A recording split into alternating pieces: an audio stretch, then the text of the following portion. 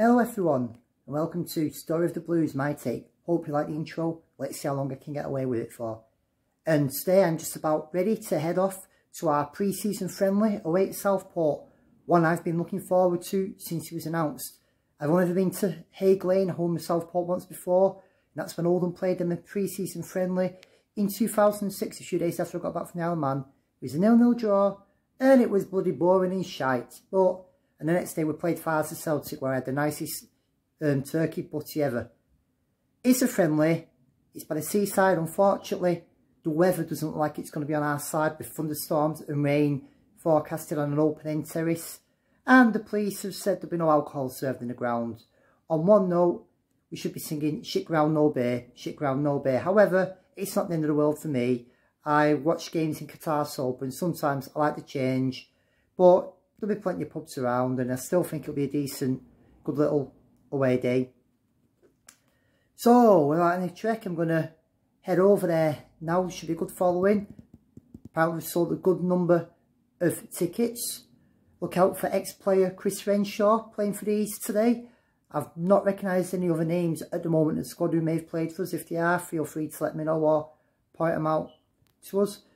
Difference between last week and this week again, it's the second game maybe a bit more of an attacking instinct, maybe push for it.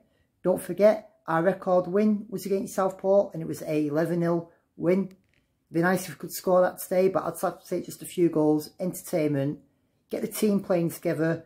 The quicker the team gel, the quicker the better we will progress.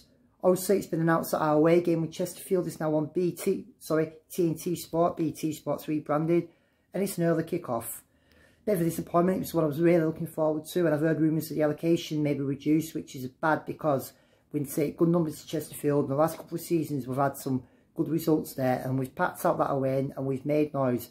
And we'll still make noise there. It doesn't matter if you give us 10 tickets, 10,000, 5,000, and we will still travel and we will get behind the lads. So without further ado, I'm going to head to the tram stop. It's again by tram and train today and I'm looking forward to meeting a good few lads, a few from London that are coming up for this as well. Um, it's a shame I can't stay over and it's a shame the weather's not the best at the moment. It's a game I'd like to really wear shorts and t-shirt for. Anyway, off we go. Obviously, we know Southport was Oldham's record win 11-0, but they've actually got a lot more history. So originally they were formed as a rugby club, Southport Wanderers, and then became Southport Central. But the Southport, as we know today, were formed in 1888 joined the Football League in the 3rd Division North in 1921. In 1931, they became the first team from Division 3 North to reach the FA Cup sixth round, losing 9-1 to Everton. A season later, at Haig they secured a record crowd of 20,010, which saw them play Newcastle in the fourth round of the FA Cup. In 1958, they were founding members of the old fourth division. They finished bottom but were successfully re-elected. In 1966-67, they were promoted in 1968-69, they achieved their highest ever finish within the Football League when they finished 8th in Division 3. Shortly after, they were relegated back to Division 3. They were Division 4 champions in 1972-73, but they dropped out of the Football League altogether in 1978 when they didn't get enough votes to be re-elected. In 1992-93, they were Northern Premier League champions. In 1998, they reached Wembley, losing to Cheltenham Town 1-0 in the FA Trophy final. 2002-03, they had a good FA Cup run where they beat Notts County and had a great start to the season. They were unbeaten in the first seven games, but after a terrible run of two in 15 games, they ended up getting relegated back to Northern Premier League. In 2004 and 5, they were founding members and winners of the Conference North. In 2006, after a successful season in the conference, they became full-time, but in 2008, relegated back to the Conference North and were part-time again. In 2009 and 10, they were National League North champions. They picked Fleetwood on the last day of the season. Now, Liam Watson, the current manager, took them up then and also took them up previously. They stayed in the National League until 2017, where they were relegated back to National League North, which is where they were today. So they have got quite a fair bit of history. People forget that some of these teams in non-league do have history. They are ex-football league clubs, but with the days when there was no promotion relegation, it was all re-election, and a lot of that was gentlemen's agreements. Rochdale for years avoided relegation. Ocean yet didn't get promoted. Basically, a lot of historic teams never achieved getting back in. Barrow were one for years who never got back in Gateshead or another.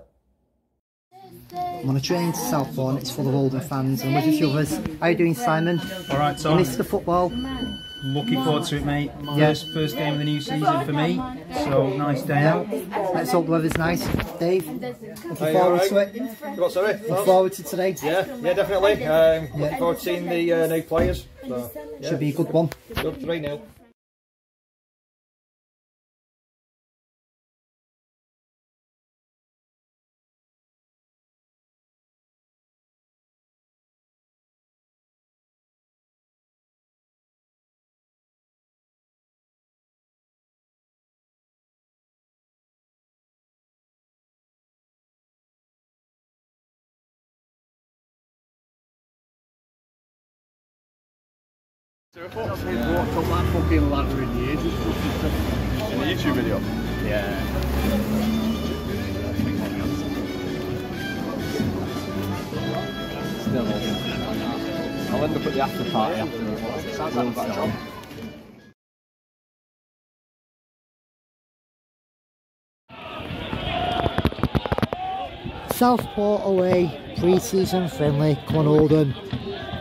It's pissing it down, but well, who gives a shit? Football's back.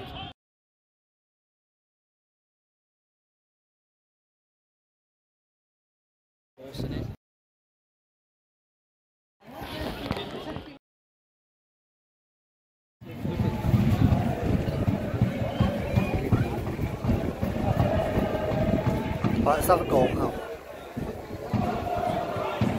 Fuck off.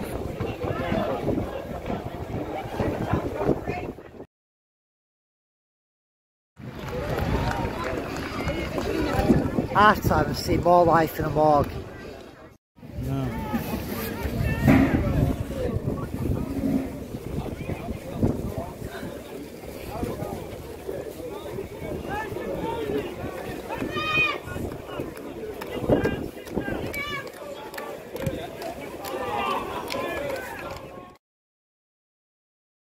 Garbage. God, now let's have a fucking go, let's.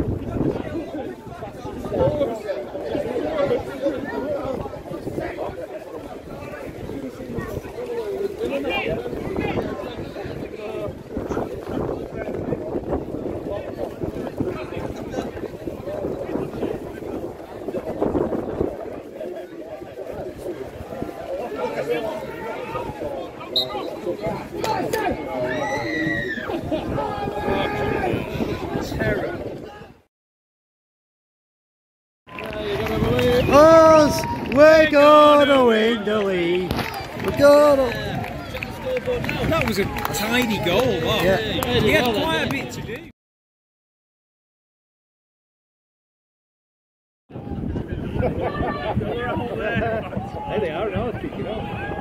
Fancy last.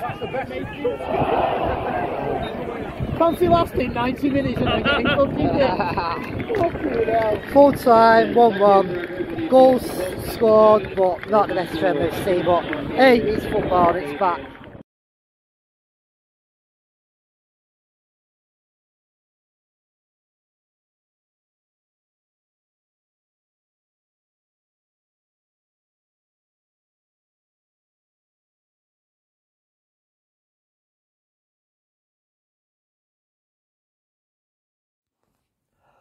Well, what day was it? Um, Southport's day. Um, cracking day out.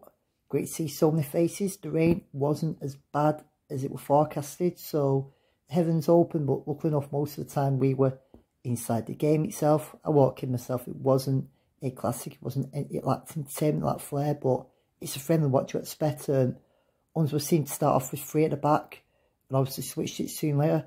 Thought Hobson played okay. Ragland didn't do too bad. The defence does look a bit comfortable. Lundstram again was the standout man for me in midfield. Um, Green took his goal well. He looked composed, cool when he did it. Obviously not all stupid to get sent off in a friendly. Could be banned from the start of the season, especially if it's violent conduct. What people are saying at the moment. Great to see Ward get a run out. I'd like to reach Charlie, see him go with Reid and Willoughby up front. I just want to see a bit more of an attacking emphasis. Don't get me wrong, we pushed forward. We did have plenty of corners, but just a bit of that end product. Obviously, I'm not going to panic, as some people have done. Take it game by game, but as each friendly goes on, I do expect us to improve. I looked at that starting lineup and wondered, is that the starting lineup he wants to put out against Southend? Um, it's looked, I would like to say it's looking strongest so far. Having said we've only played two games. Still, roll on Chorley on um, Tuesday. Thanks to Paul Nichols who sent me a couple of photos from Southport of like the seafront that I've put in, but never I got to Southport myself, but not actually quite on the seafront. But great day out. See you on Tuesday at Chorley. See you on the terraces. Come on, Oldham.